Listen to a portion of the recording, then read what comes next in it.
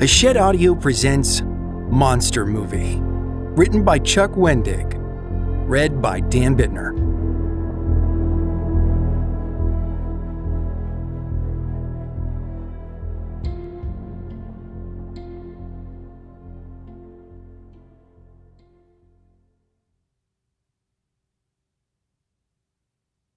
To my mother, who let me rent my first scary movie. Spoiler warning it was Alien. I was probably too young for it. Oops. Part 1 Don't lose your head, Ethan Pitowski. Chapter 1 Mr. Chitters makes a call. So, there it is. Harley Worth said, pointing out the window of his bedroom past the overhanging roof toward a big trunked pine tree. It was Sunday, and he had texted both Ethan and Olivia an hour ago. Humongous elephant forsythia!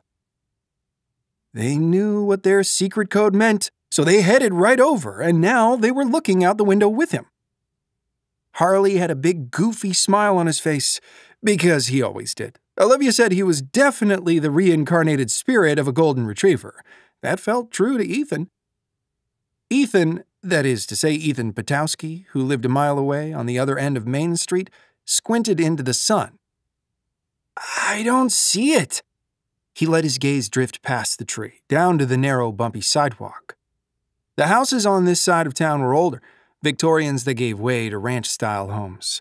On Ethan's side of town, the sidewalks were straighter and wider, and the houses were of a style his mother called craftsman. She often said that the Victorians and the craftsmans didn't really get along. Some stylistic battle of old versus new, tired versus modern, both in terms of money and how long they'd lived there. Don't even get her started on the ranch style homes either. Ethan didn't understand any of it. Adults were weird. Sorry, Harley. Are you sure it's in the tree? Oh, it's there, Harley said, using both hands to hook bits of his raggedy blonde mullet around his oversized ears. I swear. Yeah, I don't see it either. Olivia James said. Harley was tall, but Olivia was even taller. She, a black girl with big purple glasses and Invisalign braces, was all legs and all arms and a puff of hair that only extended her height. Ethan had an idea. Maybe send it a text? On it, Olivia said. She pulled out her phone and said, Open the window so we can hear. Harley shrugged, then opened it, grunting. He seemed to take a moment to enjoy the late spring breeze blowing in, making a little hmm sound. Ethan almost expected his tongue to loll out of his mouth like a dog with its head out the car window. Olivia used her phone to text Harley's. Sure enough, out there in the pine tree, ding doo ding. At that, Ethan finally saw the phone tucked in the crook of two branches. The screen glowed for a minute and then dimmed again. Olivia saw it too. Can you just climb back out there and get it? She asked Harley. I mean, you put it there. Harley shrugged again. Oh, yeah, no, I didn't put it out there. Blink, blink. Ethan felt crazy for asking, but he had to. So, how exactly did it get into the tree? Oh, yeah, Mr. Chitters took it. Olivia and Ethan shared a what exactly is Harley talking about now kind of look. This was a regular occurrence because, well, Harley was Harley.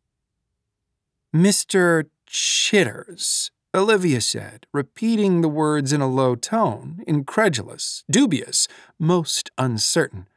Ha! Yeah, he's my squirrel friend. Another look, another round of blink, blink, blink. You have a squirrel friend? Ethan asked, twitching a little. A tiny anxiety bubble appeared in his mind, threatening to swell and then go pop. Totally. Harley itched the armpit of his shirt, which displayed art for a band called Demon Gallop. It showed a horse with demon horns riding a spiky electric guitar. Ethan didn't like it. We hang out sometimes. I don't think he's much of a friend if he stole your phone, Olivia said. He just got confused because of the peanut butter. Conversations with Harley were sometimes like riding a roller coaster designed by a five year old who's gone goofy on energy drinks in the middle of a hurricane. Olivia was done being polite. Harley, just spit it out. Oh, okay. Yeah, so sometimes I sit here by the window and watch Mr. Chitters. And then sometimes I open the window and we like hang out and stuff. And I tell Mr. Chitters my problems, and Mr. Chitters chitters his problems at me, and it's real cool. And then one time I was like, oh man, I bet you're hungry, Mr. C. And so I went downstairs and got some peanut butter and put it on my phone like a little plate, and I served it to him, and he seemed to really, really like it. Like, a lot.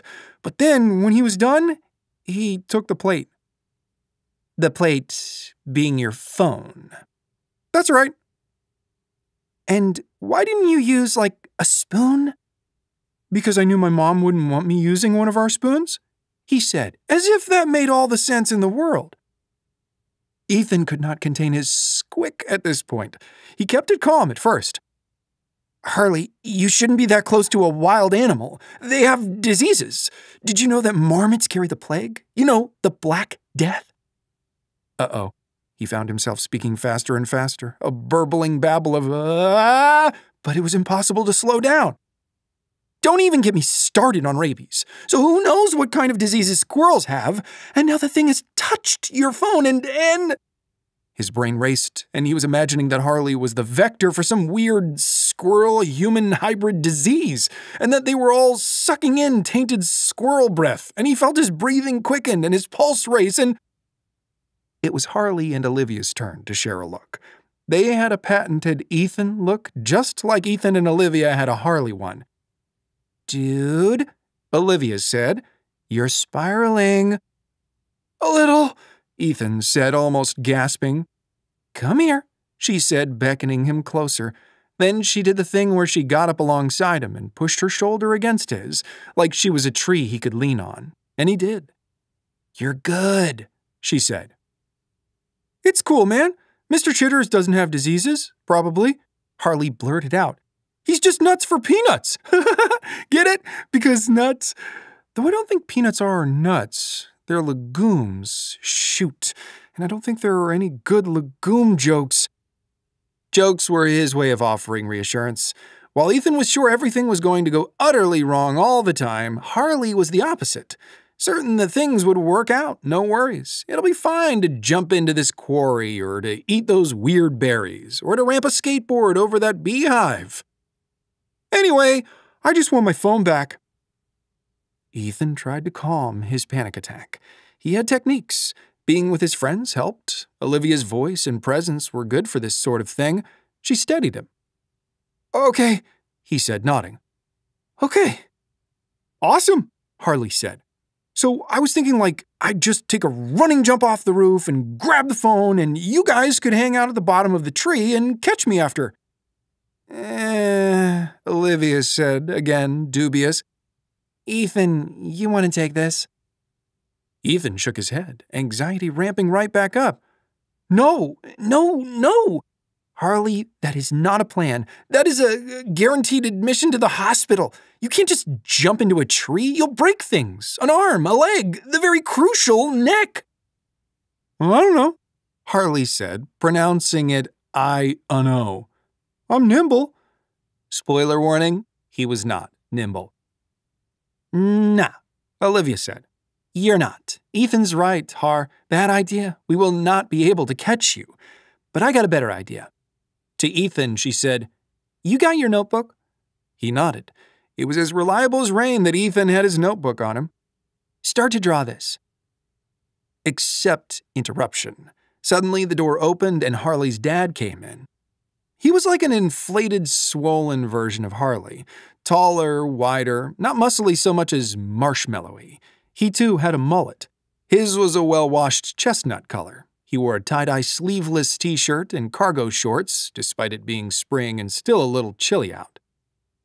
Sup, kids? What you doing? Mr. Worth asked. Just trying to rescue my phone out of the tree because a squirrel took it, Harley said. Oh, gnarly, the dad said, with no further questions. Have fun.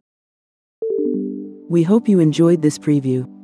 To continue listening to this audiobook on Google Play Books, Use the link in the video description.